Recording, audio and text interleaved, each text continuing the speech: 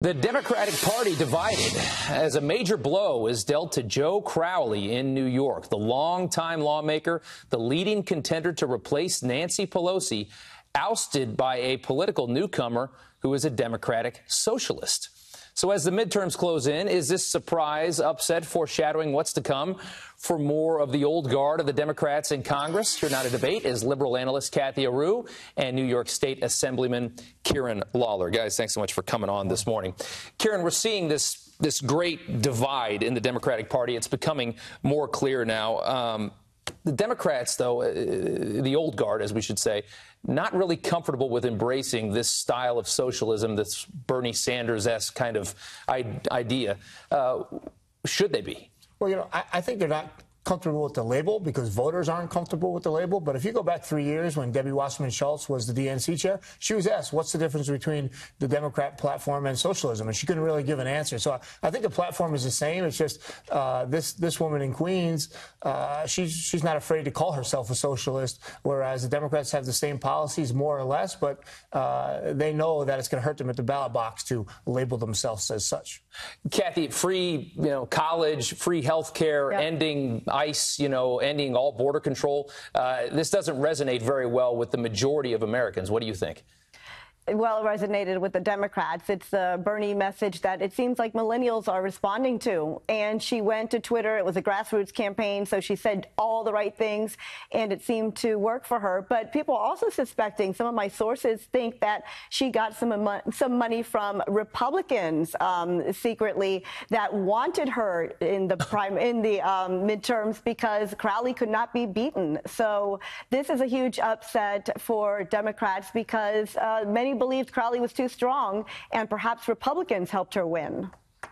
Interesting. Okay, yeah. so um, it, it, was also very low voter turnout there in that district as well, uh, really bad. Uh, let's talk about uh, the president and uh, the Trump momentum when he backs somebody. Uh, Dan Donovan in Staten Island beat out Michael Grimm, who despite being a, a, convicted felon, is very popular in that area. You also had McMaster in South Carolina get beat. Kieran, uh, Trump uh, has his message back on track.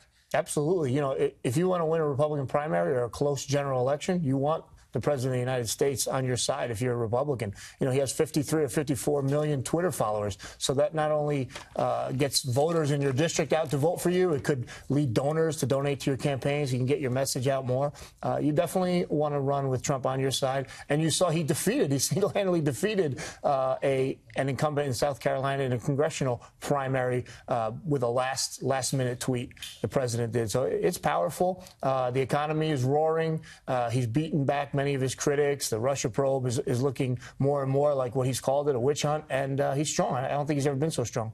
Cathy, what do you say to the president's momentum right now?